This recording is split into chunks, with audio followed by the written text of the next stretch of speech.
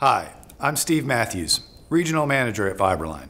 Today I'm going to share with you an important tip for getting an accurate vibration diagnosis on a machine.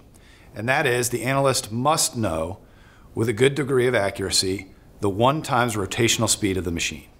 While there are many techniques for looking at machinery vibration data to troubleshoot problems, spectral analysis is the most common. This is a vibration spectrum showing amplitude versus frequency. Spectral analysis is the most used technique because machinery problems generate amplitudes at specific expected frequencies. The observed frequencies can be categorized as harmonic versus non-synchronous. Some problems occur at frequencies that are harmonically related to the rotational frequency. If a frequency in the spectrum is evenly divisible by run speed, it is considered a harmonic. We often express harmonics as multiples of RPM, 1x or the run speed, 2x, 2 times the run speed, 3x, 4x, etc. The set of problems that display as harmonic frequencies include unbalanced misalignment, looseness, gear mesh problems, fan blade pass, and pump vane pass.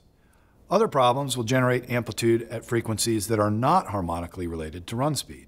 Those peaks are called non-synchronous peaks. Some examples of problems that might cause non-synchronous frequencies are resonance, bad bearings, electrical problems, and cavitation.